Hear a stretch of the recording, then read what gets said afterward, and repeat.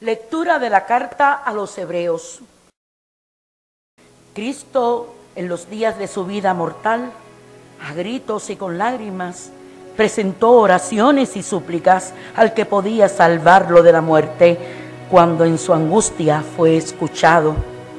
Él, a pesar de ser hijo, aprendió sufriendo a obedecer y llevado a la consumación, se ha convertido para todos los que le obedecen en autor de salvación eterna. Sálvame, Señor, por tu misericordia. A ti, Señor, me acojo, no quede yo nunca defraudado. Tú que eres justo, ponme a salvo, inclina tu oído hacia mí. Sálvame, Señor, por tu misericordia. Ven a prisa a librarme, sé la roca de mi refugio, un baluarte donde me salve, tú que eres mi roca y mi baluarte, por tu nombre dirígeme y guíame.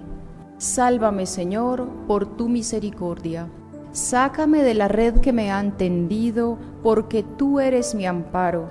A tus manos encomiendo mi espíritu, tú, el Dios leal, me librarás. Sálvame, Señor, por tu misericordia. Pero yo confío en ti, Señor, te digo, tú eres mi Dios. En tu mano están mis azares, líbrame de los enemigos que me persiguen. Sálvame, Señor, por tu misericordia. Qué bondad tan grande, Señor, reservas para tus fieles y concedes a los que a ti se acogen a la vista de todos. Sálvame, Señor, por tu misericordia. Del Santo Evangelio según San Lucas.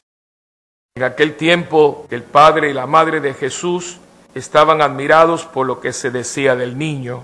Simeón los bendijo diciendo a María, su madre, mira, este está puesto para que muchos en Israel caigan y se levanten. Será como una bandera discutida Así quedará clara la actitud de muchos corazones y a ti una espada te traspasará el alma. Santo Evangelio según San Juan. En aquel tiempo junto a la cruz de Jesús estaban su madre, hermana de su madre, María la de Cleofás y María la Magdalena. Jesús al ver a su madre y cerca al discípulo que tanto quería, dijo a su madre, Mujer, ahí tienes a tu hijo. Luego dijo al discípulo, Ahí tienes a tu madre. Desde aquella hora el discípulo la recibió en su casa.